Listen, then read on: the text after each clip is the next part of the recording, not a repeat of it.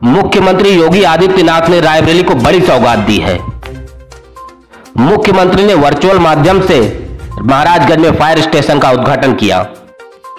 इस दौरान राज्य मंत्री दिनेश प्रताप सिंह ने फीता काटकर इसे महाराजगंज के इलाके के लोगों को समर्पित किया। इस बड़ी उपलब्धि के लिए सभी मुख्यमंत्री जी को धन्यवाद देते नज़र आए। राज्य मंत्री दिनेश प्रताप सिंह ने कहा कि अभी तक इस इलाके में आग लगने जैसी आपदा आने पर रायबरेली से गाड़ी आती थी, जिसके चलते देरी होने के कारण बड़ा नुकसान होता था। मुख्यमंत्री आदरणीय योगी आदित्यनाथ जी को धन्यवाद देता हूँ, जो इस क्षेत्र में दो थाना क्षेत्रों के बीच में फायर स्टेशन नहीं था।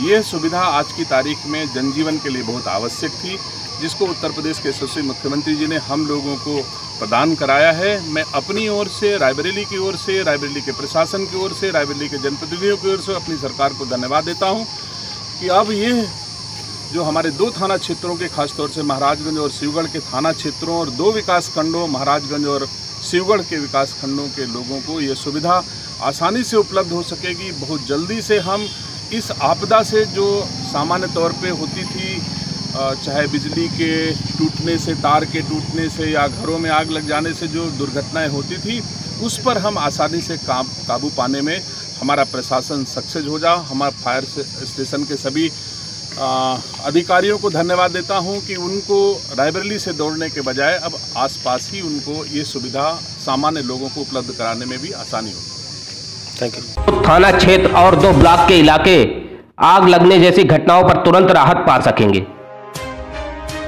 रायबरेली से आरबीएल हिंदी न्यूज़ के लिए विपिन कुमार की रिपोर्ट।